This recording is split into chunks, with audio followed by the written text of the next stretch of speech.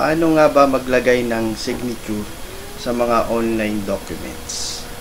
So, magsasample tayo ng isang signature na yun ang ilalagay natin sa uh, documents na letter. Yan. So, pagkatapos nyan, picturean natin yung signature na yan, and i-attach natin sa letter na yon. So, next naman na gagawin natin ay tatanggalin natin yung background ng signature na yon sa pinagsulatan natin sa isang bond paper. So, paano ba yon? So, type natin sa sa Google yung background remover. So, yan.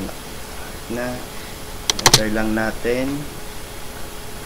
Okay. So, click natin itong background remove. So, di ba kanina nakagawa tayo ng signature. So, i-upload lang natin yung image na yon yung, yung sinave natin na signature. So, hanapin natin dito. Type natin yung signature na yon Okay.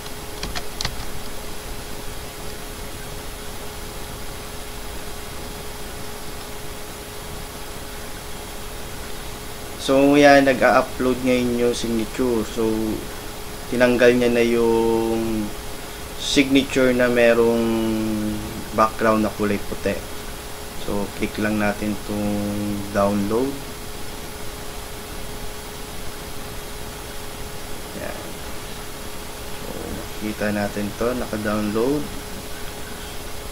So, si-save lang natin to kasi gagamitin natin to pag dating sa attachment.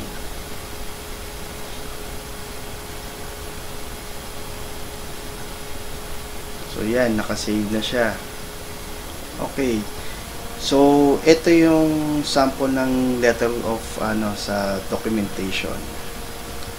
Okay? So magbibigay ako dito ng example na yung meron pang background na signature kaya hindi pa natatanggal yung background. So, tingnan natin yung anong itsura niya. Okay.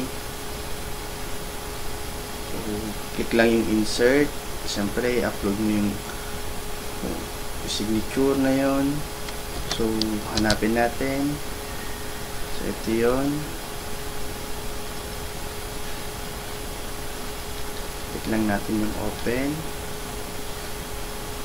Okay, ito yung signature na uh, hindi pa natatanggal yung background. Okay. Yan siya. So, ganyan na nangyayari. So, kung kung sa formal na documentation na sinasubmit, eh, hindi siya proper kasi meron siyang background. So, yan yung example. So, para matanggal yan, delete lang natin. Ito na ngayon yung tinanggalan natin ng uh, background signature. Ganun din, system, yung file name, hanapin yung file name na yon. Ay, hindi pala yan. Yung signature, okay. Click natin yung open. So, ito yung signature na tinanggalan na natin ng uh, background. So, yan.